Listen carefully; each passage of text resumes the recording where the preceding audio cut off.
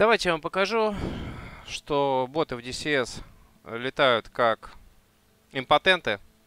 А, вот, э, я для вас приготовил тут э, такую миссию. У нас, э, соответственно, F-14А с баками, с ракетами. То есть такой э, полузагруженный самолет. Фениксов только не хватает. Ну и против нас вот два бота пустых. Сейчас будем вести с ними ближний воздушный бой. Это МиГ-29А, да, и э, Су-27 по стандартной загрузке 60% топлива, а, как она автоматически ставится. И мы сейчас с ними проведем один против двоих воздушный бой, и увидите, что боты в DCS э, на пушках это... Ну, короче, им нужно куда стремиться, скажем так. Да, потому что мы сейчас, по сути, на индюшке летим на такой. Вот. Против двух супер air... Двух советских air Superiority Fighters, да? Самолетов завоевания превосходства в воздухе. Я бэкспейсом убираю наш э, РУС, чтобы он нам не мешал. Включаем TID, включаем вооружение и включаем пушку. И давайте посмотрим, что они с нами смогут сделать. Можем боту приказать засечь цель.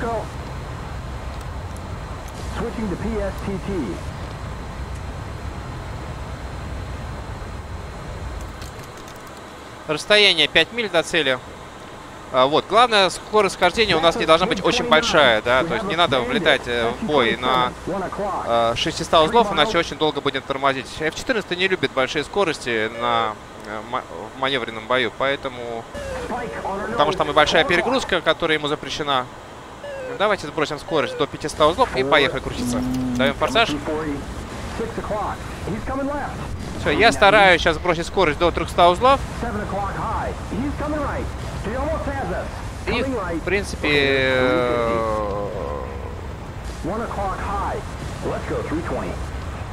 э, летать на максимально растопыренных крыльях.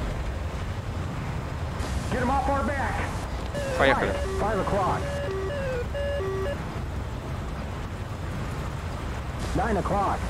Какого у вас первого будем сбивать, абсолютно неважно. Ой, у нас два на жопе. Ну, как бы сейчас вы поймете, что, в принципе, в этом нет никаких проблем. Давайте Су-27, поскольку более большая цель, жирная. Хотя, в принципе, более маневренная должна быть, чем МиГ-29, особенно на малых скоростях. То есть у сушки должно быть преимущество. Но как мы видим, э, вот, идет перекрутка. Да, потому что я кручусь на скорости 300 узлов.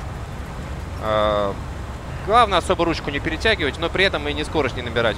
Потому что если мы наберем скорость, самолет становится слабо управляемый. Поэтому вот 270-330 это наш диапазон. Э, абсолютно комфортный там к этому. Э, в этом диапазоне летает.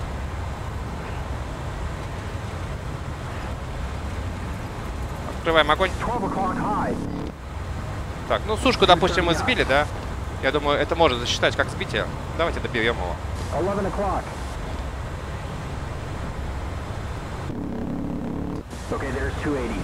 Ну, у нас, видите, компьютер очень херово рассчитывает. Брони бронированный самолет. Э, видимо, на танк, из танка, из танковой брони, что ли. Сколько может стрелять, непонятно. Давайте дальше разворачиваемся. Разворачиваем. Ищем миг. Ищем миг. Так, где у нас там СПО? Вот он с нами сходится. И поехали с мигом крутиться. Крутимся, крутимся, крутимся, крутимся, крутимся, крутимся, крутимся, крутимся. Сейчас будем танцевать с мигом. Танцевать с мигом. Скорость у нас опять упалась. Мы на самом деле можем слушать нашего Рио, потому что он нам постоянно рассказывает э, нашу скорость. Давайте опять наберем 300 э, узлов потому что я тут слишком сильно просел по скорости. А, самолету неудобно такую скорость маневрировать. И вот, видите, у нас 320 узлов, и вот это самая идеальная скорость, 300-320. И поехали. Подтягивайте ручку на себя, а, крутится. Главное крылья не складывать во время боя, потому что если мы начнем складывать крылья, у тамкета сразу проседает э, темп виража, да, то есть угловая скорость разворота, и мы начинаем всирать всем. Вот. Главное летать вот так, в растопыренных крыльях, как какой-то самолет Zero, да? Я так можно сказать, или Spitfire. Во-во-во, смотрите, видите, что, происходит, да? Бот ничего не может нам сделать. Вот вообще ничего не может сделать. Я начинаю доворачивать до него. Поворачиваем дальше. Похуй с баками, с ракетами, блядь. Против пустого 29-го мига. Э, ну, то есть абсолютно насрано. Вот. Включаем бо э, боевой режим. Захват, вертикальное сканирование. Ой, в это еще дерьмо. Дерьмовая достаточно радара для ближнего боя. Ну, в принципе, никаких проблем нет абсолютно. Вы видите, что э, боты просто днище, да? Если надо, я трек могу выложить, сохранить, э, чтобы вы посмотрели на это днище просто. Э, ну, как... Что это такое? Ну, как можно против таких ботов тренироваться, а? Э, По-моему, в Strike Fighters и в BMS боты гораздо лучше летают, чем в ДК. К сожалению, пока что. Такие дела, ребят.